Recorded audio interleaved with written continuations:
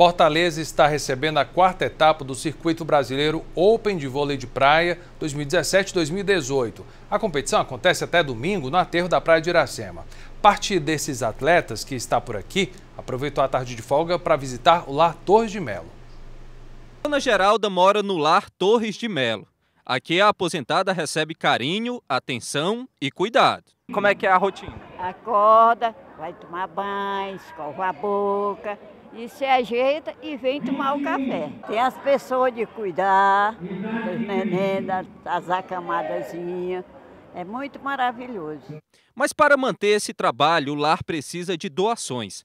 Por isso, as atletas do vôlei de praia Rebeca Silva, Carolina Horta e Ana Patrícia, em parceria com o Banco do Brasil, estão desenvolvendo uma campanha para arrecadar tampinhas de refrigerante. A gente está fazendo uma campanha para as pessoas que vão à arena até domingo levem tampinhas de refrigerante. Nós vamos ter sessão de autógrafos dos atletas também hoje nos dois grandes shoppings aqui da cidade. Essas tampinhas serão doadas para o Lar Torre de Melo, que vão reverter em prol das, dos idosos que aqui moram. As tampinhas arrecadadas nessa campanha serão vendidas para reciclagem e o dinheiro usado para pagar parte das despesas do abrigo.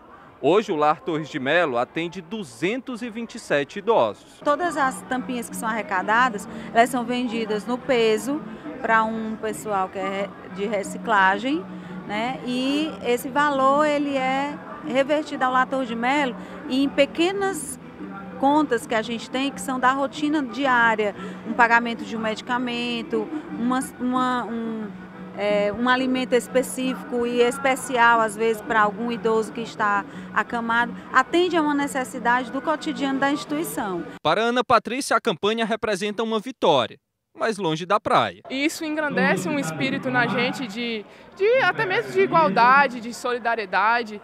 E isso para a nossa, nossa vida de atleta também é muito importante. Né? A, gente, a gente às vezes precisa presenciar outras coisas que vão nos fazer crescer em outros quesitos que não seja só esportivamente.